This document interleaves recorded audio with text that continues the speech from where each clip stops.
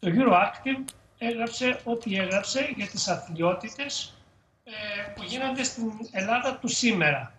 Και έγραφε ότι θα γίνει μια θα άλλη κυβέρνηση, θα πέσει αυτή κλπ. Και το διέψευσαν οι Βρυξέλλες, θα έμεινε στο δημοσιογράφο. Ωραία, ωραία.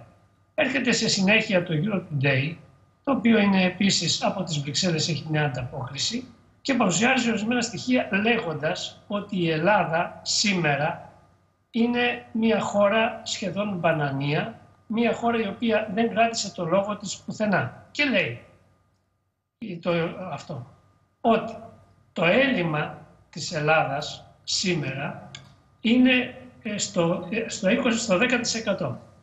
Το έλλειμμα.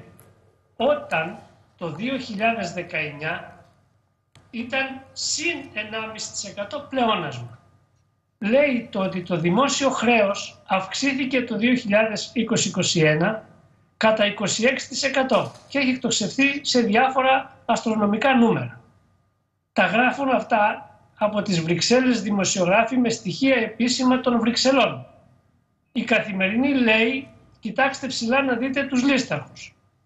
Σε άλλο δημοσίευμά της η Καθημερινή, στη σελίδα, στην πρώτη σελίδα της οικονομικής της έκδοσης, με υπογραφή του κυρίου Καλίτσι, και τα συνδυάζω αυτό στο ρεπορτάζ, στις 2 Ιανουαρίου και αυτό, μην πει κανείς ότι ήταν παρουσίαση βιβλίων, λέει ότι η Ελλάδα σήμερα δεν έχει κάνει καμία από τις μεταρρυθμίσεις που υποσχέθηκε η κυβέρνηση της κανονικότητας ότι θα κάνει.